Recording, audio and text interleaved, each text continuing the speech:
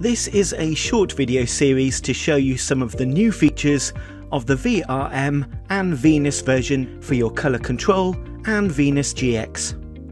If you're still using Venus version 1, please see our previous video on updating to version 2. If you're already using Venus version 2, you can update to this new version by entering the menu on your Venus device, then the firmware menu and check for and install updates.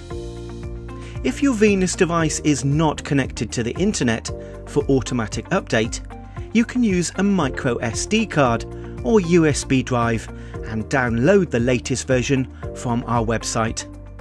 If you use the micro SD, remember to safely eject the card before removing it. As well as many new features, this new version is especially recommended for all users of the Victron ESS energy storage system and BYD lithium batteries.